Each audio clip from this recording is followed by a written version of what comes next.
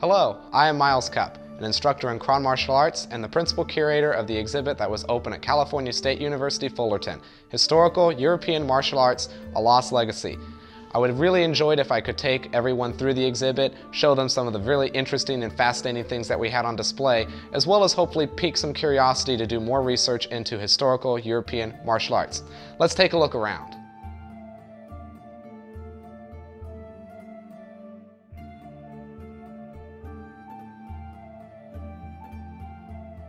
So here we are at the first part of our exhibit, in which we introduce to the viewer of the exhibit what is historical European martial arts and take them through the history of HEMA and the efforts to rediscover it. We begin with an original first edition of Alfred Hutton's copy of Cold Steel, and we discuss the efforts to begin the rediscovery of HEMA in the 19th century undertaken by Alfred Hutton and Egerton Castle, moving into the Victorian resurgence and an interest in medievalism, as well as addressing some of the myths and misconceptions that have to do with did gunpowder end the sword? And we address that and we say, well, no, of course gunpowder didn't end the sword because the sword was used on the battlefields of Europe well into the 19th century and even the earliest days of World War I. Further along in the exhibit, we discuss the traditions of dueling. We discuss how duels with sharp swords were undertaken in France well into the 1920s and even the last duel in 1967 and the history associated with that. Then we move further along into the resurgence and rediscovery of manuscripts lost into museums, but how the study of HEMA couldn't go beyond that until the resurgence of the internet so that scans and translations and facsimiles could be shared widely across the ocean and it's not limited to museums and libraries and private collections any longer.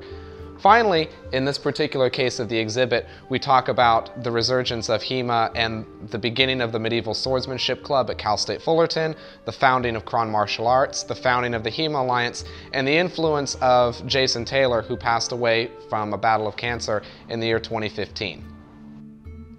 This next section of our exhibit I like to consider the crown jewel. We have here a collection of both original and facsimile fencing treatises dated between the 14th and 19th centuries, graciously loaned to us by Brian Stokes of Schola San Marco. The first of these that we have is the Royal Armoury's facsimile of the MS-133, the oldest known fencing manual. The next of these is the Flos Duellatorum, authored by Fiore de Liberi. This is the Pisani Dossi version of Fiore's work. Moving along into the 16th century, we have an original copy of Camillo Agrippa's landmark 1553 treatise that laid the foundations of geometric and mathematical theories in fencing. Further along, we have Diderot's Encyclopedia. This particular book is an original work that it was taken from the encyclopedia. The pages were cut out and bound together only with the sections on fencing. On the wall, we have plates from Angelo's landmark work from the 18th century on small sword. And finally, at the end here, we have a 19th century original from a fencing master in Paris. The book is called Lecons d'Armes, and it deals with fencing with the foil, with button tips, and represents a little bit of that shift away from the martial context of fencing into the sportive context of fencing. This small little section of our exhibit represents sort of the end of the historical progression that we have created at the beginning of our exhibit, showing how fencing began in the earliest days as a martial art with real life applications with sharp swords and dueling, and has evolved into the modern day Olympic sport fencing styles that is most known to the general public. This next section of our exhibit is probably the most visually impressive. This entire wall we have a collection of swords in a semi-chronological order dating from the earliest known ones for which we have documented sources from the MS-133, sword and buckler. Moving a little bit further along into the 14th century and beyond, we have a collection of long swords, both hand and a half and two-handed varieties, with complex hilts, modern synthetic trainers, as well as feder replicas as would have been used in the 16th century. Coming a little bit further down, we have some steel and synthetic messers dating between the 15th and 17th centuries. And then we arrive into the 17th century and 18th century representing the Italian rapier arts, and we also included a small discussion of the Spanish art of destreza. Coming further down, we have a synthetic version of a side sword slash rapier And then we move further along into the 18th and 19th century styles of small sword, as well as now in the 19th century, single stick trainers used for saber and cutlass styles of fencing.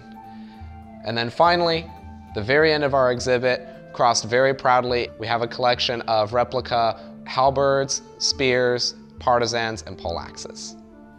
In this case here in the center of our exhibit, we have three very important and very well-known works. In the foreground, we have a copy of Fabris's landmark 1606 fencing treatise, the first known uh, treatise published in Denmark to use copperplate engravings. The middle treatise is Achille Marozzo's Bolognese style fencing treatise based on the Bolognese tradition. And then at the, finally, at the end here, we have Talhoffer's facsimile 1467, translated by Mark Rector, as well as a collection of wooden rondels open to the same page at which rondel fencing would have been shown. In this case right here, we have two very visually impressive facsimile fencing treatises from the 15th century. Over there we have Filippo Vadi's edition from the 15th century, and in front of me we have the extremely impressive Paulus Kal facsimile, which deals with armored combat, longsword, messer, sword and buckler, dagger, and wrestling.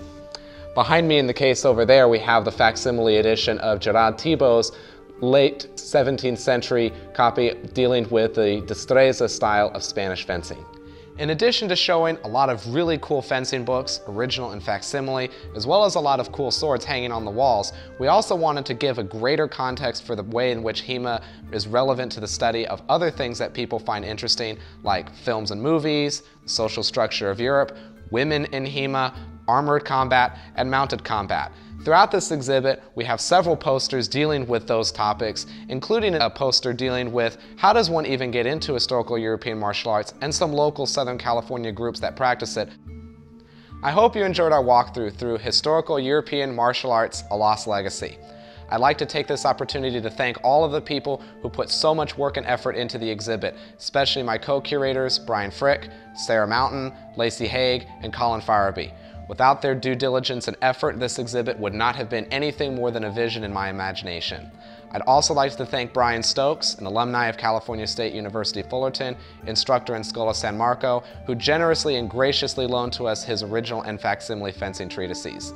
I would also like to thank South Coast Swords for the loaning of their equipment, as well as all of the other people who donated to our exhibit, whose names you can read on the website. Again, I'd like to thank everybody very much. Have a wonderful time.